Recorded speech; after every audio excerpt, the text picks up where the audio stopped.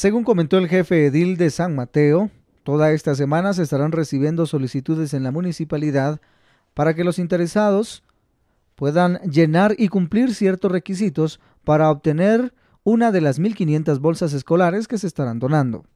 Eh, sí, los requisitos que nosotros eh, pedimos es de que sean vecinos del municipio o que estén registrados en el Tribunal ah, de, San Mateo y que estén al día con su agua potable y que los niños también eh, ya estén inscritos en las escuelas.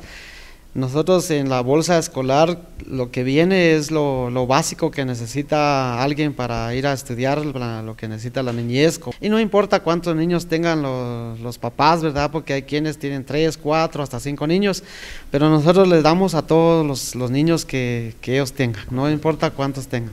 Y espero en Dios el miércoles, eh, la próxima semana, nosotros estemos entregando los útiles escolares a toda la niñez que va a estar apuntada. Para primera línea, la verdad de los hechos, Daniel López y José Diego Puac.